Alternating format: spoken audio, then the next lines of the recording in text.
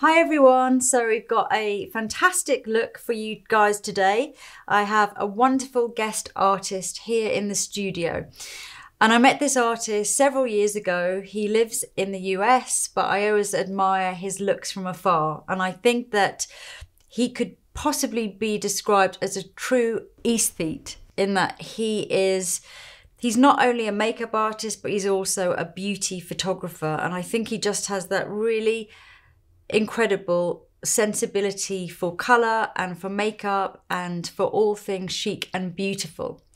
So, one of his clients is Kristen Stewart, and for years and years and years, I've really admired the looks that he has done on her. So, I asked him today if he would mind sharing one of those looks and showing us how he achieved the look.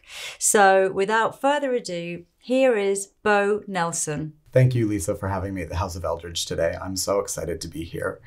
I did a poll on my Instagram, and what you guys wanted to see was a beautiful smoky eye look that I did on Kristen Stewart a few weeks ago. So I'm really excited to do that on my Model Elle today. Let's get started. I start every application with skincare. Today I'm using Chanel Hydra and Sublimage skincare. I like to give my clients a massage of the face, quite a vigorous massage actually. Um, I always check the pressure with my clients, but I actually like to use quite a bit of pressure on the jawline because we hold a lot of tension there. Just turn towards me a little bit. I start on the face like this, and then I really apply a little bit of pressure down. How does that feel? Mm, lovely. And this just helps sort of depuff the face, and it's actually really relaxing for the client. I massage the temples as well right here underneath the eyebrows, I actually like to do this. And it just, you know, it's surprising how much tension we hold here. It's probably for me looking at people like, what the hell are you wearing? But. and then I finish up by doing sort of a sculpting of the jawline. Sometimes I'll use tools to do this, but often I'll just use my hands. So.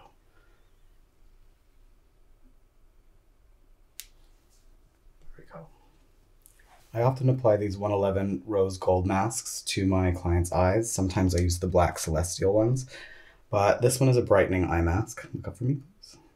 And I usually do this while the hair is being done and you know, I can give them a hand massage. I'm actually pretty quick with makeup, so I don't always take the full time that we have available to us. So it's nice to give the client a little bit of a treat. Now I'm going back in with eye cream. This is the Chanel Sublimage eye cream. And again, I just put it all the way underneath the eye in a little bit of a tapping motion. And then I do another little mini massage just to get the blood flowing there. Make sure the eye area is depuffed. We're going to use Lisa Eldridge's foundation today. This is shade number seven. And what I'm going to do is I'm going to apply it just in the areas where I need coverage. Elle has beautiful skin, so we're not going to use a lot. And I just dot it on the face like this. She's got a little bit of redness around her nose, so we'll concentrate there. And a little bit on the forehead. Now, I've developed a new makeup tool. It is called Leia. This is Leia, and it looks a little crazy. Uh, Leia is meant to mimic skin on skin texture, and I wanted to create something that didn't waste makeup but that applied it beautifully. So I'm using the textured side of Leia to gently tap the makeup in. And what you'll notice about this is that you get the complete coverage of whatever it is that you're using and you don't waste any makeup at all.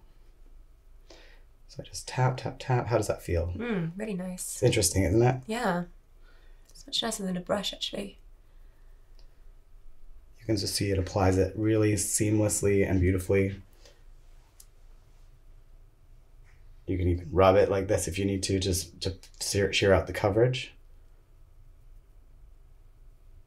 Now I'm using Tarte Shape Tape Concealer in a couple of different shades, and I'm just mixing them to create a custom shade for her skin. And I'm going to use a brush just to go around her nose. And I'm just kind of applying this, you know, without really blending it too much. I'm going to go back in with Leia and just press it into the skin. That way I get the full, full coverage. But this is a great way of using concealer because you can just fluff it on and you get to cover where you need to cover and not cover anything else. I really like skin that looks like skin. So I spend a lot of time buffing in.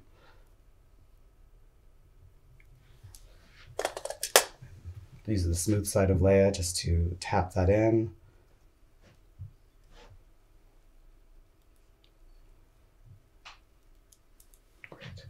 Use a little bit lighter shade underneath the eyes.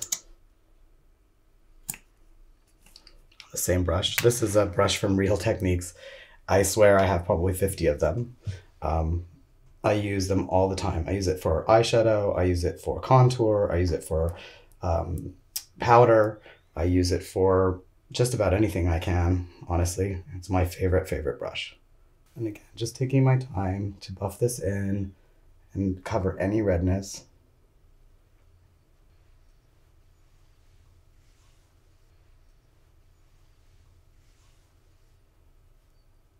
I want the skin to be as glowing as possible with this look.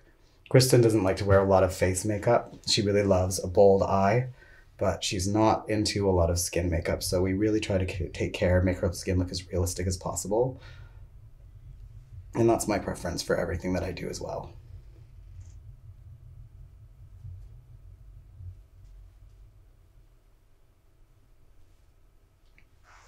Use a little bit of it as a base on the eyelid as well, just to even out that eyelid. So I'm using a little bit of Soleil de Tan from Chanel, which is one of my favorite products. It's a cream bronzer, and I'm using it on a fluffy brush. And I'm just gonna start at the forehead and lightly contour the face with it. Now, we're getting a little bit more on than we would want, but that's perfect because we're gonna blend it out in just a second. So on the cheekbones, a little bit along the jawline. I'm gonna take a clean brush and just buff it into the skin. And that's going to give us the most realistic finish. I love working with cream products because I feel like they mimic the skin a lot. So you'll notice actually almost everything I'm using today is cream. Um, some of them are self-setting. So for the eyeshadows, it's going to be a self-setting eyeshadow. And some of them just stay dewy and fresh. And I always take a little bit of the excess and put it on the nose. Just make it a little bit more realistic. Next, I'm going to use a little bit of Stila Convertible Color. These are one of my favorite products just dipping it in with the textured side of Leia, stamping it on my hand just a little bit to remove a little bit of the excess, and going right onto the cheekbone and popping it on. I love these cream blushes because they have a, quite a bit of glow to them, and I love skin that looks luminous like this. I really wanted to use Lisa's cream blush, but it's out of stock until spring, so this will have to do. Blend those edges a little bit with a brush that has a little bit of foundation on it still. Always taking time to blend in between each step. Now I'm going to go in with the Shu Uemura eyelash curler down for me and just curl the lashes. I like to walk it out and actually squeeze a few times just so I get a gradual curl. Makes a huge difference. So look up for me, please. And I'm going to put this black eyeliner right in the inner rim of her eye. I often will actually even ask my clients to do this themselves because it is a little bit uncomfortable, but I try to be gentle, so hopefully you're all right. All good so far. And I really like to get it in the inside corner here. Really, that's the most important part, I think. And I'll, I'll go back and layer this a few times during this. Squeeze your eyes really tight for me. Really, really tight. And open. And a couple more times. What this does is it just squeezes it out into the lash line. Yeah. Now I'm going back in with uh, Makeup Forever Aqua XL liner in shade M80. And close for me, please. And I'm just going to messily put this on the top lid. I'm going to do one eye at a time because this is a self-setting eyeliner and I want to make sure I have time to blend. Now, one thing about this is if you are using a self-setting eyeliner and a cream shadow together, it actually makes the eyeliner a lot more blendable. I'm using a shade called Chocolate Bronze from Charlotte Tilbury. that's in a palette. Put a little on the back of my hand and I'm going to blend this together. And what that does is it just gives the eyeliner a little bit more malleability and I can really just shape it. So I'm really smushing it into the lashes with this brush. And then I'm going to go back in with another brush. I'm just going to kind of get the shape with Kristen, we always do sort of a winged up shape. It's kind of become a signature for us. We like to do sort of a feline kind of eye, but sort of a soft way. So I'll often draw the shape sort of like that.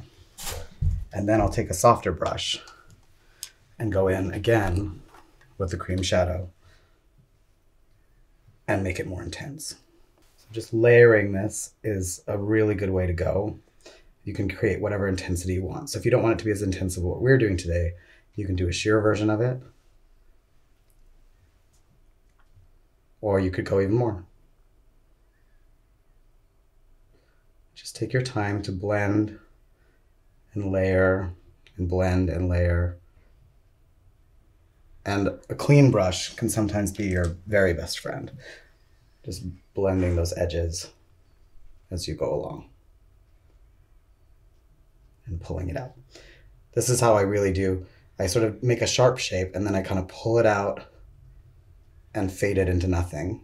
And that way you really get that graduation.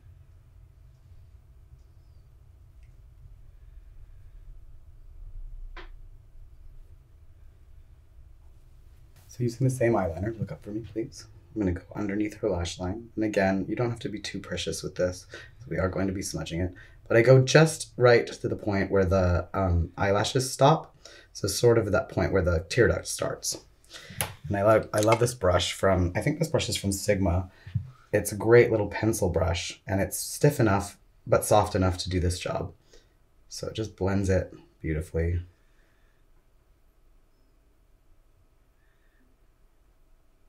You want to blend almost into sort of a, like almost a banana shape underneath the eye. So that's sort of the base of our smoky eye. Now you can take this anywhere you want to go. You can put eyeshadow on top of it. You can put more cream shadows on top of it. You can make it darker. You can pop sparkle on top. But this is what we've done so far. And now we're going to take it a little bit deeper. So I've got a black shade from my cream eyeshadow palette. Put a little bit on the back of my hand. And close me, please. I'm going to go back in to the outside corner. Again, pulling that shape out. And push smudging it along the lash line. And adding a little bit more of the chocolate bronze shade and just tapping it on so I get more coverage.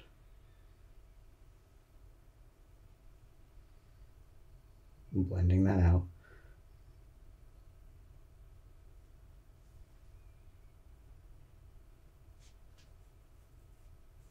I'm going to go a little bit darker. Continue blending. And again, it's just adding these sheer layers of color. What I love working with creams is because they're really forgiving. You can move them around, you can take them off almost without disturbing too much. And um, I find them just a lot easier, honestly, to use than powder eyeshadows a lot of the time. So I know they might be intimidating for those of you at home, but I really suggest you try playing with them because I've used them before.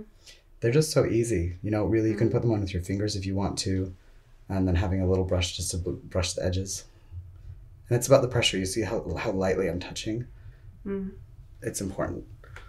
Because you can really get that gradation. It looks like more than, you know, two shades if you use different pressures to put them on. I'm going to go back in with a little bit of a mix of the purple from Makeup Forever. I'm mixing on my hand. And a little bit of the black Chanel eyeliner. Just like that. I often use the back of my hand as a palette me too. Close please. I think it's just the best way. I mean, I have all these palettes and then I forget that I have them. But smudging that into the lash line, look up for me, please. And then smudging it on the bottom as well. And really smoking out this bottom area and connecting it to the top. That's the most important thing.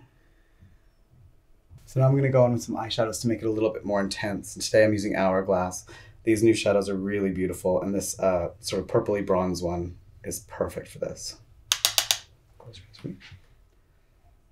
I'm just layering this on top of the cream shadow. It's now acting as a base. So this actually really creates a really long wearing makeup.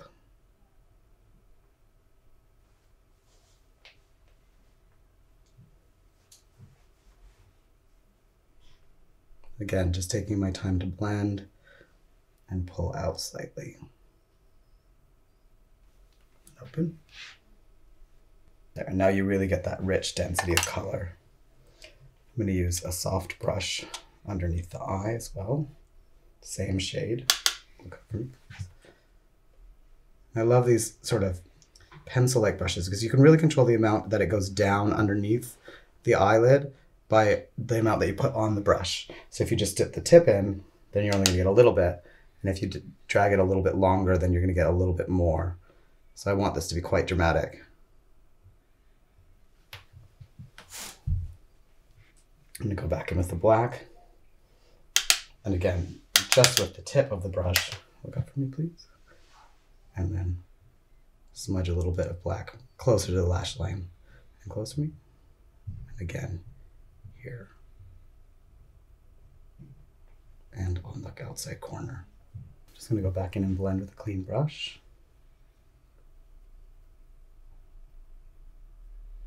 Pull and lift.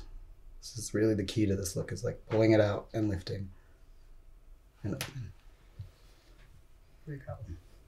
Now, if you want to soften the edges a little bit more, you can go back to your brush that has a little bit of concealer on it and use that to clean up the edges and soften the edges. Look up for me, please. This way, it sort of blurs the edges into the skin, and that's the way I really like to see things. So they look sort of seamless. And I go both on the top and underneath. Look up, please. Thank you. And just keep blending. And if you need to add a little bit more concealer, you can always pop that on as well. Close to me. I'm gonna just erase these edges just a little bit more, especially on the outside corner, just so it starts to melt into the skin. Just like that. And lifting up again, always, and open. There we go. Now we have that nice graduated line. I'm seeing I'm gonna just blend a little bit more. Here, and just bring it up slightly. Make it a little bit smokier.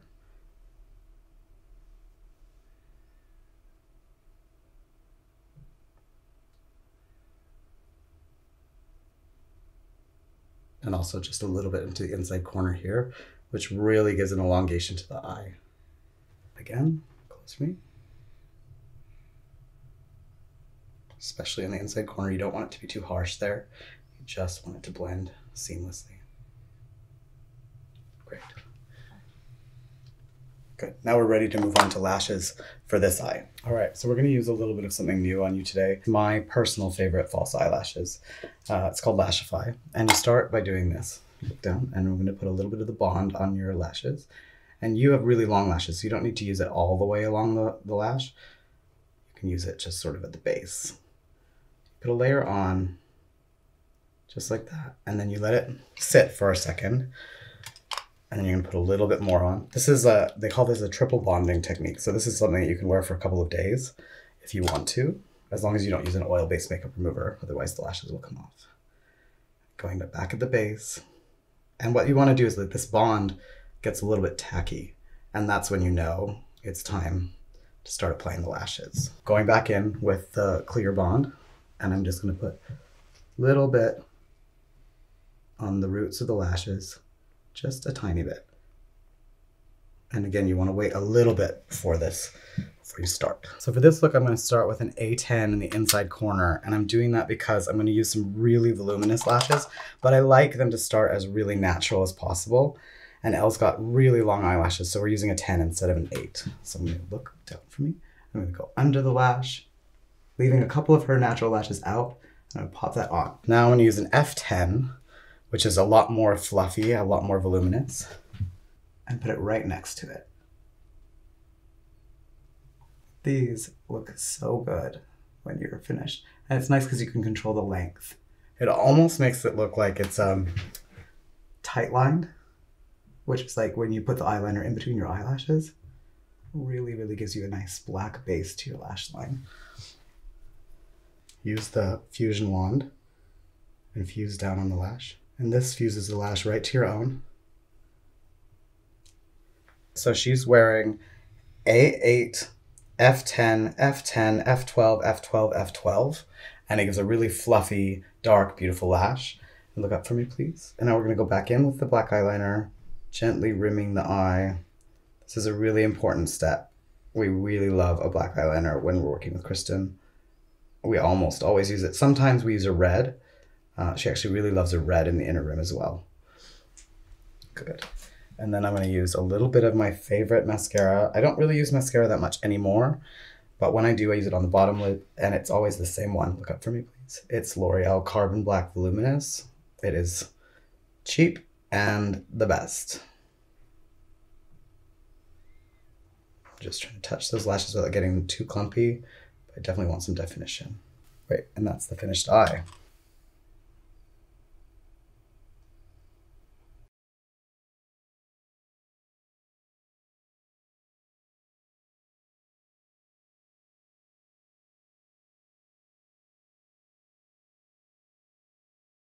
Just gonna blend this a little bit more.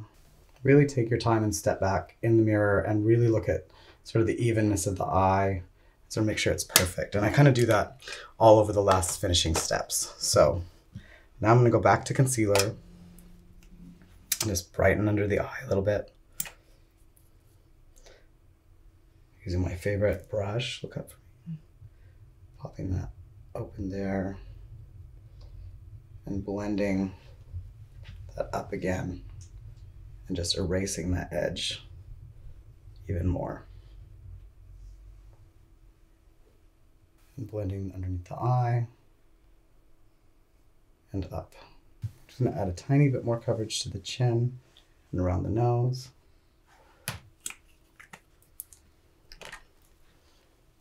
This is really kind of where you polish up the, the look and make sure that it's perfect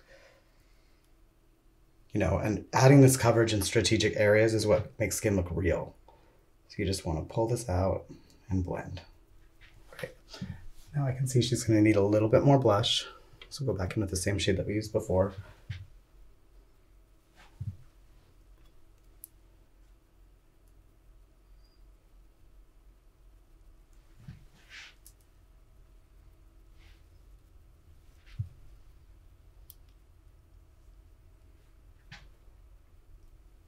Sometimes I use a little bit of leftover just on the on the jawline and then the hairline, and that kind of brings the face together. It's just very very little, but it does make a subtle difference. When you're using the Leia, I mean, it's definitely a different technique than it is a sponge because it doesn't hold product like a sponge does. It doesn't suck it up either, so you need a lot less. Now I'm going to go in with this shade from Charlotte Tilbury's Nudegasm palette. It's a really beautiful light taupe shade, and this NARS brush is perfect for contouring. And I'm gonna just carve her cheekbones out a little bit. I'm gonna start at the hairline and just flick forward. And under the jawline, just from the back of the ear, from the bottom of the ear, excuse me, forward, down. And sometimes I like to do a little bit on the temple as well. Go and turn this way for me. Now you'll notice I'm doing this before powdering. Sometimes people would do this before they powder, but I like to keep everything sort of creamy so I can move it around until the last minute. What I like to do then is again, the same way that I was erasing the shadow and sharpening it, is to do that with the contour. And just bring it up slightly higher. And blend the front edges of it. All right, using my favorite pressed powder, which is again Charlotte Tilbury. Um, this is Fair, and I'm just gonna put it on the high points of the face, the forehead. I love this powder because it has a little bit of wax in it, so it actually doesn't really look like powder. It kind of just looks settles into the skin, mattifies it, and sets your makeup without being too um, matte and losing all the luminosity in the skin. So I love doing it just really around the nose, paying close attention to there, a little bit on the chin, I like to leave the rest of the face with a little bit of shine, but I do like to set under the eyes just to make sure that the eyeshadow doesn't move or crease. And again, it also helps blend the edges of it just a little bit more. And sometimes I don't love a highlight on the brow, but I do like a soft bit of pressed powder. And I just run that over the edges of the eyeshadow, and that seems to just blend it as well. Brows, I'm just going to brush up her brows and just see what the natural shape is. She's got amazing eyebrows, so we're not going to do a lot. And I'm just using a clean spoolie to do that. And sometimes less really is more. So with her, I'm going to add just a tiny touch of brow powder just exactly where I need it. I'm going to use the Anastasia brow powder in Ash Brown. It's a duo. And I'm just going to lightly Start at the front part of the brow and really a gentle pressure here because I really don't want to deposit a lot of color. I just want to give it some definition. Sometimes I'll use a really soft eyeshadow brush right in the beginning of the eyebrow because if I want it to be super soft, then I use a soft brush. Pretty genius idea, huh? and then I'm gonna make them just a little bit thicker just at the top. And this is something that I do actually with Kristen. Sometimes we will make her brows look a little bit thicker. So I go up on the top and then I brush them up to sort of disguise where we put the powder. And that really can be a great trick for for you girls who have over tweezed your eyebrows at home and you want them to look a little thicker, just grow them a little bit longer and then brush them up over top of your powder or your pencil, whatever you decide to use. I'm gonna lengthen them slightly, just a hair. Great. And once I've done that, I'm gonna go back in with my spoolie. You'll see I haven't really put anything at the very beginning of the brow. I want it to look quite natural and then get a little bit darker as we go out. So it's sort of like an ombre, but not in the way that you may have seen it on Instagram. So now she's got a full thick brow. I think we're gonna thin it out even more. So you can just brush a little bit of the product out of it and just soften. So you can sort of control the amount here. Now I'm gonna go with it, go in with one of my favorite products, this um, brow soap by WB Co. And it is kind of amazing actually it really keeps the brow hairs in place. So for anyone who has longer or unruly brows, this is a great product to use. So you just put a little bit of water in with it and then you can brush it up into the brow and it really holds the shape. You can really get a nice lift and fluffiness to the brow this way. Great. Just a touch more contour.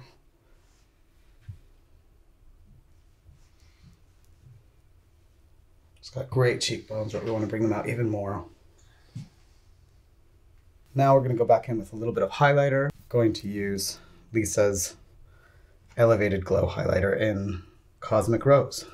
This is great. It's got a big doe foot on it, but actually it has a reservoir tip, so you really just need one or two little dots. I'm doing three tiny little dots just on the cheekbones.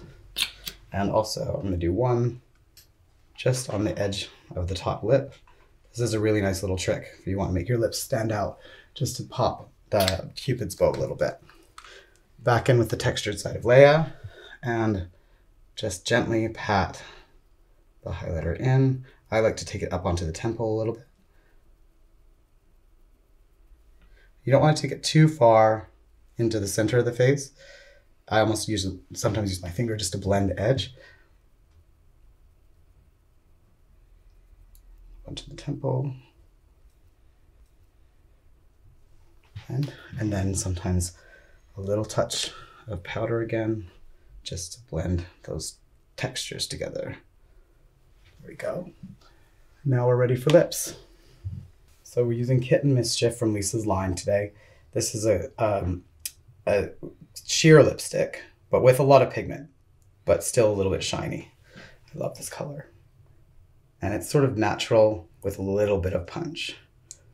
So just applying that on the lip. I'll have you give me a little mush. Thank you.